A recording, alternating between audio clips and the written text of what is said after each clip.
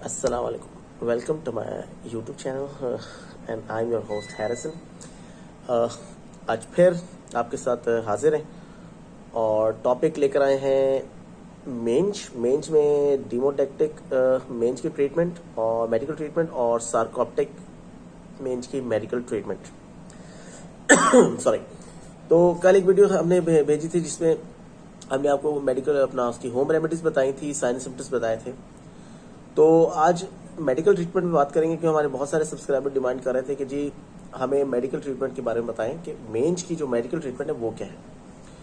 तो सबसे पहले आपको बताता हूँ कि मेंज जो है, उसको आपको डायग्नोज करने के लिए सबसे पहले तो उसका मेडिकल टेस्ट करवाना पड़ता है, जिसको आप स्क्रेपिंग कहते हैं। स्क्रेपिंग के लिए आपको अपने वेट के पास जाना पड़ेगा, वो स्किन से स्क्रेप करके निकालेगा और उसको फिर डायग्नोज करके बताएगा आपको, आया या डेमोडेक्टिक मेंज है या सार्कोप्टिक मेंज है। तो जो डेमोडेक्टिक मेंज है वो आपको बताया था कि वो कंटेजियस नहीं होती, वो स्प्रेड नहीं होती और सार्कोप्टिक मेंज जो है वो ट्रांसफ़र हो जाती है ह्यूमंस के अंदर भी और दूसरी जगह पर तो वीडियो का टाइम वेस्ट नहीं करेंगे और आपसे रिक्वेस्ट करूँगा कि जी अगर आपने मेरा चैनल अभी तक सब्सक्राइब नहीं किया है वीडियो को लाइक नहीं किया है तो काइंडली पहले इसको वीडियो को सब्सक्राइब कर लें लाइक कर लें तो फिर ही काम चलेगा। क्योंकि आप लोग वीडियो को लाइक करेंगे तो ये स्प्रेड होगी और वीडियो यूट्यूब जनरेट करेगा और आगे तक जाएगी। और चैनल को सब्सक्राइब कर देंगे तो इन्फॉर्मेशन लोगों तक जाएगी। कुछ हमारा ही फ़ायदा हो जाएगा। तो ट्रीटमेंट से स्टार्ट करते हैं जी। पहले हम डीमोडेक्टिक मेज की ट्रीटमेंट की तरफ़ जाते हैं। तो एक प्रोटोकॉल आपके लिए बनाया है। होपफुली आप लोग लाइक लाइक करेंगे इसको तो डीमोडेक्टिक मेंज का जो ऑर्गेनिज्म होता है वो तो डीमोडेक्टिक मेंज का जो ऑर्गेनिज्म होता है, जो उसको कॉज करता है, उसको हम कहते हैं डीमोडॉक्स कैरीज इसकी अब लाइन ऑफ़ ट्रीटमेंट में जाते हैं। टाइम वेस्ट नहीं करेंगे कि ये होता है, वो होता है। तो आप डॉग का वेट पहले ज़रूर मालूम कर लीजिएगा, ये सब मेडिसिन देने से पहले। तो जो सबसे पहला इंजेक्शन है, वो इंजेक्शन आइवरमेक्टिन है। 0.2 मिलीग्राम्स का ले लीजिएगा।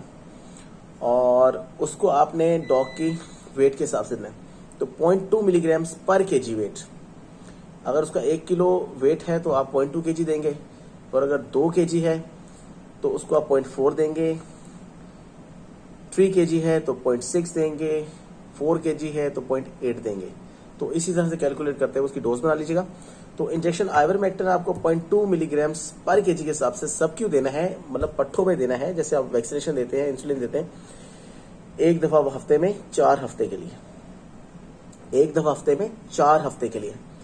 उसके बाद आपको एंटीबायोटिक कोर्स कराना है, उसका जिसके अंदर सेफेलोस्पोरिन आपको लेना है। ये सॉल्ट का नाम है, इसका कोई भी ब्रांड आपको मिल सकता है। तो सेफेलोस्पोरिन ले लेनी है टैबलेट्स लेनी है आपको। तो 30 एम पर केजी के हिसाब से टैबलेट देनी है आपको। 30 एम पर केजी के हिसाब से टैबलेट देनी है, जो कि 15 दिन तक आपको उसको देनी है डेली एक टैबलेट अब इसके बाद आपके पास बेंजोइल पर का शैम्पू मार्केट में अवेलेबल है, वो लेकर आए, उसको डेली जब तक तो उसकी ट्रीटमेंट अपना कंडीशन सही नहीं होती डेली उसको उससे अच्छी तरह बात कराएँ, और उसको ड्राई ना कीजिएगा टावल वगैरह से। फिर एमिट्राजरिट के नाम से एक सोल्यूशन आता है। ये 12.5 परसेंट है। इसको आप डायलेट करेंगे पानी के अंदर 4 एम पर लीटर एक लीटर में 4 एम तक का ये सोल्यूशन डाल के उसको अच्छी तरह से हिला लीजिए और कपड़ा लेकर उसको गीला करके इसकी बॉडी पे उसको स्पंज करें, उसकी स्किन पे आराम आराम से लगाएँ, रगड़िएगा नहीं। उसको स्पंजिंग देनी है, यूँ ही करके उसकी बॉडी पर लगाएँ। उसके बाद उसको रेंस करके साफ़ कर लें और फिर आपके पास एक न्यूट्रिशनल सप्लीमेंट आती है, जिसको हम कहते हैं सिर्फ़ न्यूट्रीकॉट एडवांस तो ये आपने उसको न्यूट्रिशन सप्लीमेंट भी साथ देना है, ताकि उसको वो ऑयलिंग मिले उसके कोट के अंदर शाइन आए, उसको नेचुरल ऑयल्स वगैरह मिले उसको सही प्रॉपर तरीके से वाइटामिन और जो भी उसकी कैल्शियम वगैरह की चीज़ें वो पूरी होती रहे, और उसकी स्किन हेल्दी एंड फ्रेश है तो ये आपने टू टी स्पून डेली देने हैं। तो ये आपका डिमोडेक्टिक मेंज का ट्रीटमेंट था जिसके अंदर इंजेक्शन आइवरमेक्टिन है, एंटीबायोटिक है, उसकी स्वेलोस्पोरिन बेदिंग उसकी हो जाएगी बेंजॉइल पेरोक्साइड के साथ एमिट्राज सोल्यूशन होगा और सिरप न्यूट्रिकॉट पास यहाँ बताता चलूँ कि कुछ डॉग्स, डॉग ब्रीड्स हैं जिसको आइवरमेक्टिन से वो सेंसिटिव है। तो आपने उनको आइवरमेक्टिन नहीं देना है। नेक्स्ट वीडियो बनाएँगे, हम आपको बताएँगे कौन सी मेडिसिन देनी है जो कि आइवरमेक्टिन के रिप्लेसमेंट में देते हैं। तो आइवरमेक्टन प्लीज़ आप जो भी आपके ऑस्ट्रेलियन शेफर डॉग्स हैं और शीप डॉग्स जितने भी हैं उनको आइवरमेक्टन ना दीजिएगा क्योंकि वो इससे रेजिस्टेंट होते हैं। और ये सेंसिटिव सॉरी सेंसिटिव होते हैं जो उनसे उनको इन्फेक्शन हो सकता है या उनकी आ, कोई भी एनाफिलेक्टिक शॉक में जा सकते हैं। उसके बाद आता है आपका सार्कोप्टिक मेंज सार्कोप्टिक मेंज जो होता है वो सार्कोप्टिक कैरिस की वजह से आता है। इसके अंदर आप जो है वही पता कराते हैं कंटेजिस है, उसको पहले, सबसे पहले तो अपने डॉग को अलहदा कर दें, उसको आइसोलेट कर दें, अलहदा रखें, उसकी जगह उसको क्लीन करें, अच्छी तरह ब्लीच से धो लें और उसको डॉग को रखें। डॉग को ह्यूमिडिटी लेवल ना बढ़े डॉग का नॉर्मल टेम्परेचर पे रखें। नॉर्मल टेम्परेचर पे रखें तो छह से सात दिन के अंदर ये वाइट्स मर जाती है, लेकिन अगर इसको नमी मिले या ह्यूमिडिटी लेवल बढ़ जाए तो इनकी लाइफ बढ़ जाती है तो तीस दिन तक भी बढ़ सकती है। अच्छा इसपे आपके पास सबसे पहले तो एंटीपायरासिटिक ड्रग ले लेनी है, जिसको मेलबामाइसिन ऑक्साइम कहते हैं। ये पाकिस्तान में अवेलेबल है मिल जाती है। वो लेकर आए, इसकी एंटी पैरासिटिक मेडिसिन उसका ट्रीटमेंट करें। और उसके बाद तीन टैबलेट्स हैं, जो कि 100 परसेंट इसमें काम करती हैं। सबसे पहले आपको लेना है ओफ्लॉक्सिसिन ये भी एंटीबायोटिक है।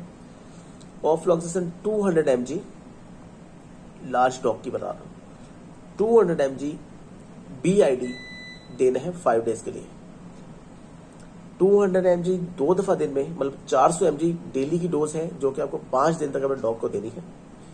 फिर उसके बाद आपके पास है लीवोसिट्रजीन ये एंटी इन्फ्लेमेटरी होती है एंटी एलर्जी होती है, ये आपने आता है लीवोसिट्रिसिन डाई हाई क्लोराइड के नाम से आता है। तो ये आपने वंस डेली डेली सिरप आ जाएगा इसका। आप डेली अपने अपना डॉग को 2.5 एम एल छोटा है तो बड़ा है तो फाइव एम एल दे दें।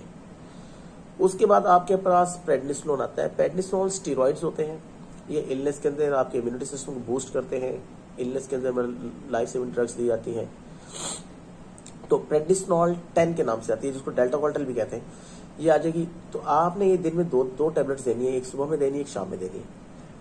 और ये भी फाइव डेज़ तक देनी है। तो आपने अपनी एंटीबायोटिक और प्रेडनिसोन फाइव डेज़ तक अपने डॉक्टर देंगे। और जो लीवोसिट्रजिन डी डाई हाइड्रोक्लोराइड है, वो सिर्फ़ आपने डेली देनी है और वो दस दिन तक देनी है अपने डॉग को। तो शर्तिया इस ट्रीटमेंट से आपके डॉग की कंडीशन बेहतर हो जाएगी और इनशाला आपके डॉग की स्किन की प्रॉब्लम रही कुछ प्रिकॉशंस हैं, वो आपने देनी है। डॉग को गीली जगह पर ना रखिएगा, ज़्यादा गर्मी में ना रखिएगा। कंटेजियस डॉग्स के साथ मिलने ना दें। डॉग को आइसोलेट करें, उसकी डाइट का ख्याल रखें और most of all most of all सबसे जो इम्पोर्टेंट है उसकी डीवॉर्मिंग डीवॉर्मिंग कराएँ डॉग की। सबसे इंपॉर्टेंट चीज़ है कि अगर आपने रात में खाना दिया है तो सुबह में डॉग को खाना ना दें और खाली पेट उसकी डिवॉर्मिंग कर दें। इन सब रेजिमेंट के स्टार्ट करने से पहले, ताकि अगर उसके पेट में कुछ कीड़े हैं तो कीड़े वड़े सब निकल जाए और डॉग फ्रेश हो जाए और आप ये रेजिमेंट स्टार्ट करें।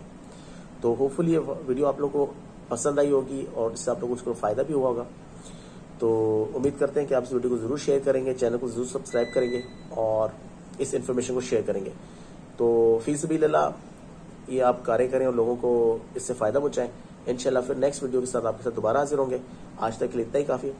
और अपना भी ख्याल रखें, अपने जानवरों का भी ख्याल रखें। इनशाला फिर मिलेंगे। अल्लाह हाफिज। Take care